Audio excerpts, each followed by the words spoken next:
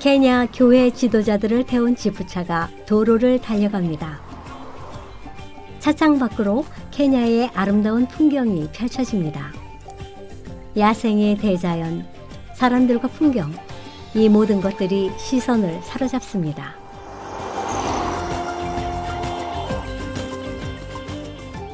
하지만 오늘 여행의 목적은 세계 개척 선교사인 리너스 선교사를 만나는 데 있습니다.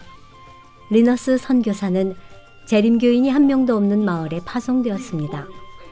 소수이지만 복음 전도의 열매를 거뒀고 최근에는 몇 안 되는 성도들과 힘을 합해 교회를 건축하고 있습니다.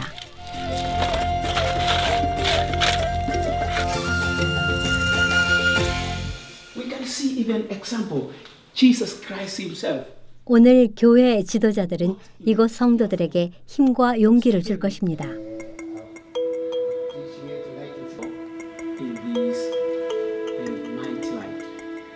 데이빗은 수십 년 전 마오마오 봉기에 참여하여 나라를 지킨 용사로서 이제는 신실한 주의 종으로 교회를 섬기고 있습니다. 1952년부터 1964년 케냐인들과 영국 정부 사이에 큰 분쟁이 있었습니다. 고통스러운 기억들을 잊고 이제 그는 주 안에서 새 소망을 찾았습니다. 그는 하나님께서 자신을 어떻게 변화시켰는지 증거합니다. 그는 리너스 선교사의 인도로 교회의 일원이 되었습니다. 교우들은 서로를 격려합니다. 예배를 마치며 모두가 하나님께 영광을 돌리는 도구가 되게 해달라고 기도합니다. Other people who don't understand it, brought our visitors. We thank you, the church and all in the church. 마을 중심지에 위치한 교회는 오가는 이웃들의 관심을 끌고 있습니다. 우리 교회는 지역사회 한가운데 자리하고 있습니다.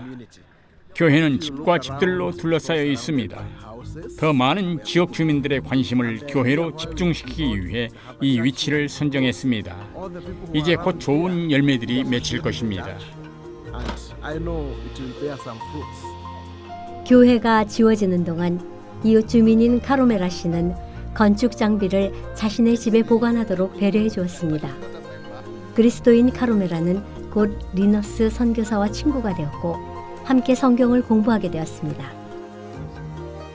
이번 방문을 통해 여러 이웃들이 교회에 호의를 보였고 다음 안식일에 교회에 오겠다는 분들도 있었습니다. 케냐의 이 작은 교회를 위해 기도해 주십시오. 그들이 지역사회에 그리스도의 모범을 보일 수 있도록 기도해 주십시오. 또 세계 개척 선교사들이 매일의 도전과 어려움들을 이겨내고 복음 전파의 사명을 완수하도록 기도해 주시기 바랍니다.